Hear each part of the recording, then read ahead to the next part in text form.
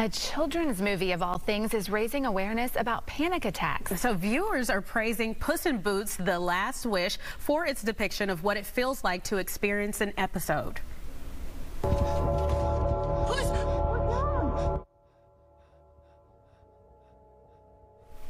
And there it is. Dr. David Carbonell is a clinical psychologist who specializes in fear and phobias.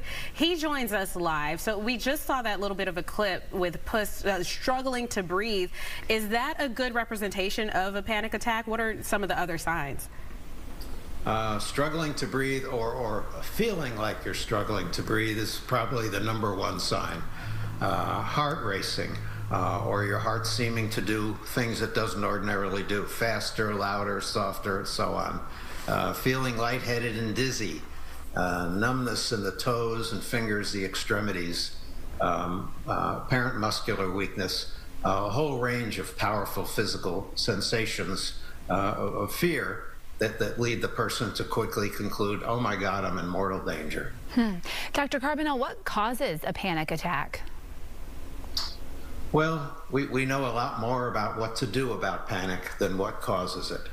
Uh, we, we, know that uh, panic disorder runs in families, that, that genetic predisposition is a strong factor here, uh, and that uh, the odds of, of, if we talk to someone who has panic attacks, very high odds we'll find someone else in their, in their family background that has that.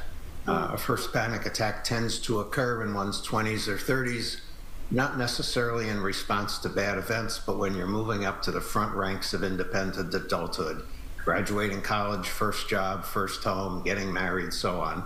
Uh, so it, it's it's a developmental event uh, for people who have that predisposition.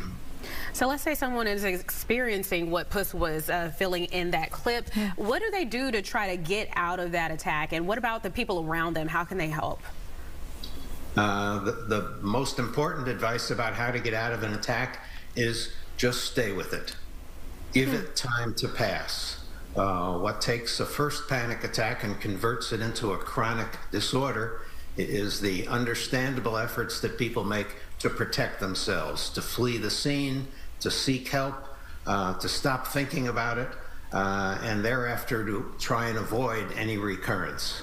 Hmm. Uh, so what people need to overcome the, the syndrome of panic is, is, to acclimate to those symptoms and give it time to pass, come to see that they don't have to protect, they don't have to flee, they, they just have to do what a long time ago uh, uh, an Australian physician said uh, was float. That's Claire Weekes. Float through the panic attack rather than flee or protect.